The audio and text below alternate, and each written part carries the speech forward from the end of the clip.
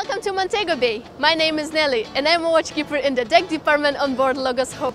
Our time in Jamaica has come to an end and I want to share with you some of the great things which took place during this visit.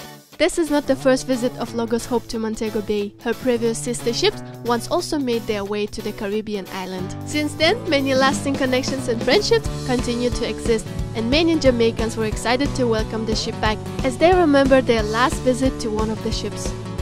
The mayor of Montego Bay, Mr. Homer Davis, and acting Custos Rotulorum, Mrs. Claudette Bryan, were invited to open the book fair to the public. Mrs. Bryan fondly recounted that her son celebrated his sixth birthday on board Logos 2 when the ship visited Montego Bay in 1996. Coming back to Logos Hope reminded her of this special occurrence and she shared about the impact the ship had with the crew members. It was our pleasure to welcome more than 40,000 visitors to the book fair and hold a variety of events for them on board. Young visitors had the opportunity to attend one of our school events with their class. During this event, school children participated in an interactive treasure hunt with activities and stories, enjoying the experience of a unique school day and learning while having fun. The ship's Life theater production of The Lion, the Witch and the Wardrobe drew in many families in Montego Bay. Since 2016, the ship's own cast have been performing in this production and 16,600 visitors have attended these theater shows. A time set aside for visitors to connect with crew members at the end has given the program a deeper meaning and the cast an opportunity to share the impact of the play in their personal lives.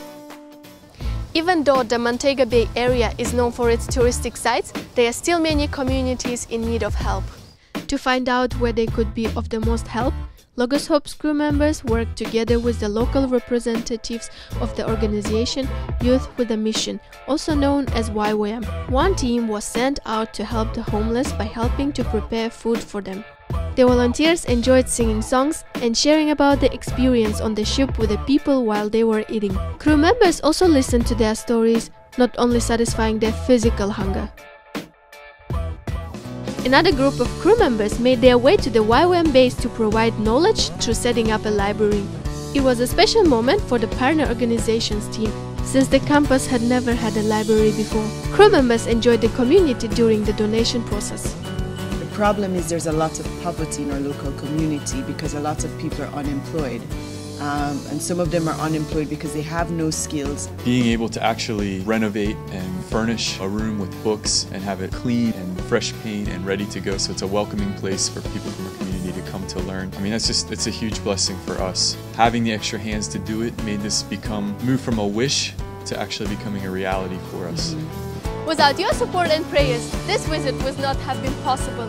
Please continue to take part of this journey as we make our way to the next island, bringing hope from shore to shore.